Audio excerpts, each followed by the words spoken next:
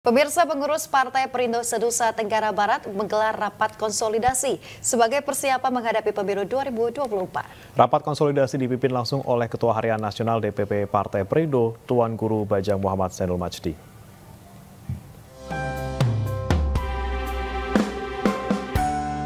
DPW Partai Perindo NTB menggelar rapat konsolidasi dengan seluruh jajaran pengurus DPD Partai Perindo se-Nusa Tenggara Barat. Rapat konsolidasi ini dipimpin langsung oleh Ketua Harian Nasional DPP Partai Perindo, Tuan Guru Bajang Muhammad Zainul Majdi. Dalam rapat konsolidasi ini, TGB memberikan suntikan semangat kepada seluruh kader dan bacalek Partai Perindo dalam menghadapi pemilu, serta menjaga nama baik partai dengan membangun kredibilitas dan integritas.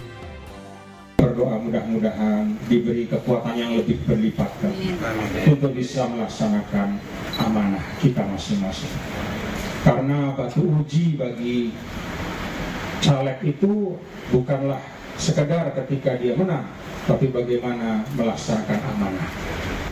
Dengan ilmu, insya Allah, dengan modal yang kita miliki, tujuan yang kita capai itu akan terarah.